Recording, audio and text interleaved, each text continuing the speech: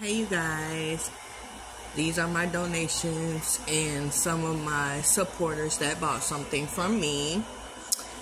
It's always a motherfucking ex, aka hater, trying to knock my shit, but guess what?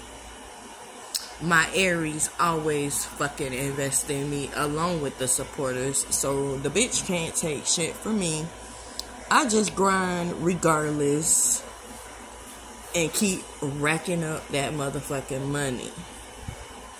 About to go back out there on Saturday, put up my tent, and grind some motherfucking more.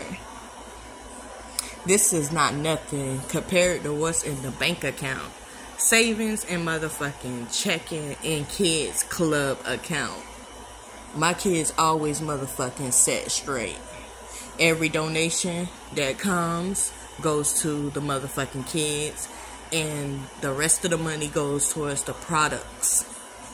So I'm gonna keep grinding, and thanks to one of my supporters that helped me with getting the fruits and stuff for my drinks and my honey drippers. I really appreciate it.